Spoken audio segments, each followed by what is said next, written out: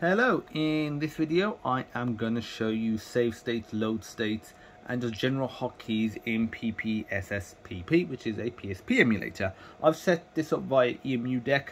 You could have set it directly and in the description I'll provide two video links. One to set it up directly, one to use EmuDeck.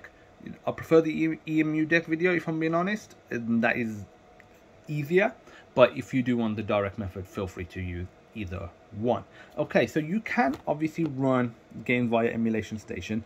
Uh, but this video works better if you just run the emulator itself just because we'll be using a controller layout and that controller layout will you know apply to the whole of the emulator or the whole of the application which would be emulation station if we chose that.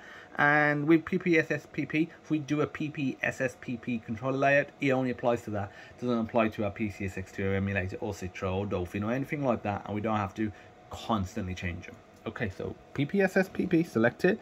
Before we launch it go to controllers and you want to go to community layouts a fair bit down you want the one from Rockman 193 Steam Deck Optimize. Mm-hmm. Oh, oh for that sneeze, sneeze there. PPSSPP controls and these are the ones that I recommend using. So to select it, you can also just click search as well if you can't find it. Okay, now in here you can modify the the back buttons, but honestly, i I'd say leave it as is. You know this save state stuff, I find it doesn't work unless you override it in the PPSP SSPP settings.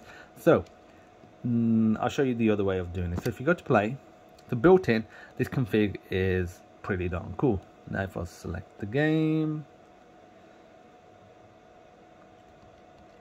and so I'm to load state, and at the back of the console, I'm to rotate the console a second. There's some back buttons here. You should see them there.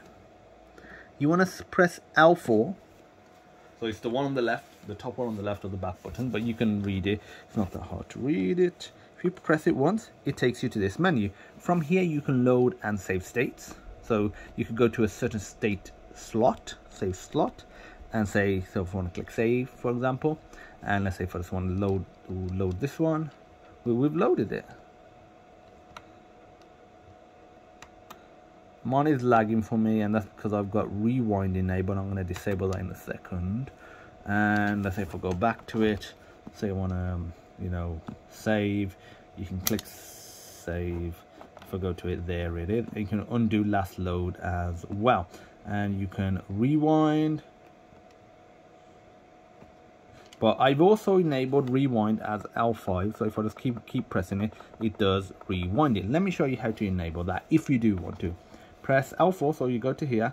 The other benefit of this menu instead of saving states directly but feel free to map that feature and I'll show you how in a second is if you go to settings you can change the resolution you can add anti-aliasing you can do a bunch of things right here without having to quit the game. So if you go to controls you go to no sorry first of all let's have a look at the rewind function. Go to system and it's down here rewind snapshot and this is the frequency uh, you know you know every 10 frames which is not which is probably too frequently. You could do it less but again obviously it will just because it's saving it there'll be a bit of a lag. And it's different if you initiate it because you're kind of expecting it and you might do it at a point where it's like okay i don't mind i'll pause it. Okay i don't mind that if it lags a tad. But otherwise it lagging every even every for the rewind to really work, I would say you probably want it